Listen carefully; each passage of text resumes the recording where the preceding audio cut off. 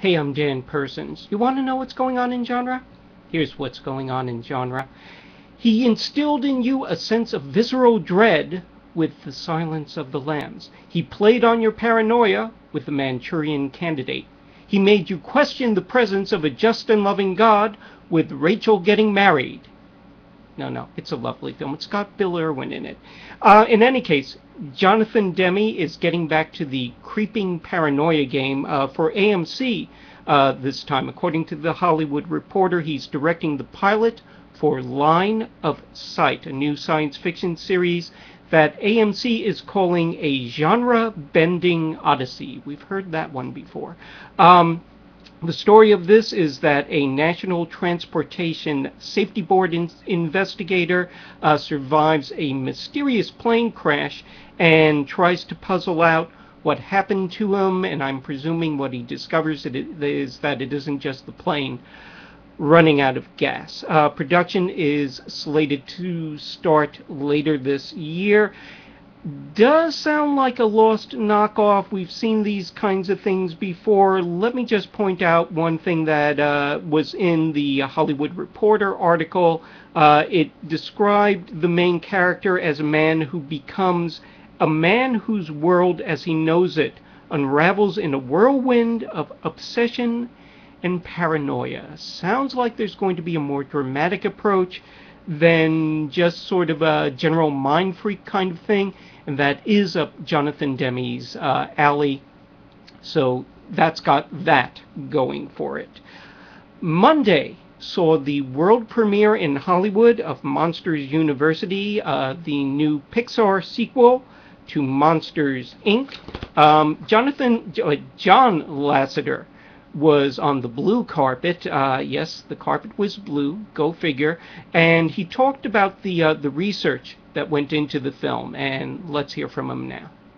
One of the things at Pixar to make our stories really, really authentic and feel truthful is we believe in doing lots of research. So for Monsters University, the research was going to colleges all over the country and, and really getting a sense of what that college you know experience was. I mean, a lot of us at Pixar went to art schools, and so we didn't really have that big college feeling. So we we um, we sent people out to Ivy League schools, to the UC Berkeley, to Stanford, down here to USC and UCLA. We visited all the schools and really went to football games and to tailgate parties. They, we visited fraternities and sororities and you know, and, and talked to professors and went to, and just felt the whole thing. And it really, um, it made it so it was very, very authentic. Now, of course, it's a Disney Pixar film rated G, so you can't really put everything that we discovered in college in the movie, but we did as best as we could and make it as authentic as we could make it.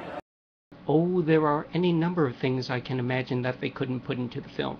What are you doing with that St. Bernard? So the film is opening this weekend. We can check out all the family-friendly hijinks uh, then. Gravitas Ventures uh, has released the trailer for Abandoned Mine, a new horror suspense thriller about a mine, what is abandoned, and something is lurking inside that wants to have a lovely tea party with you. No, probably not. Let's get a look at the trailer and see what actually happens.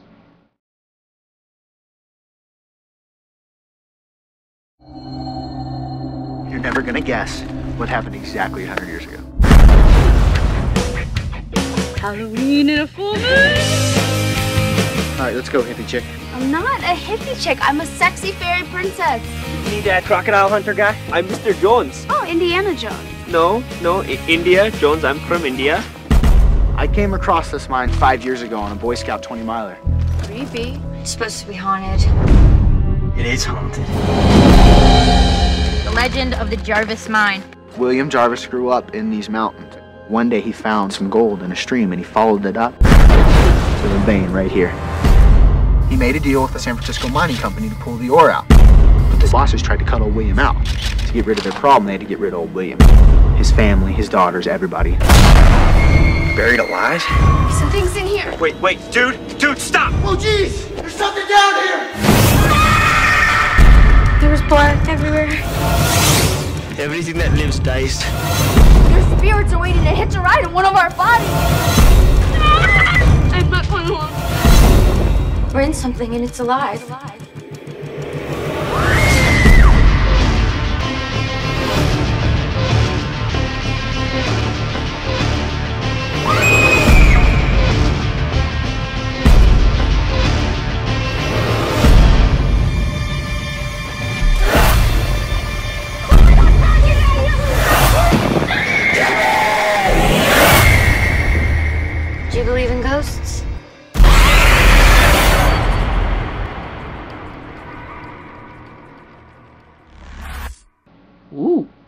Scary.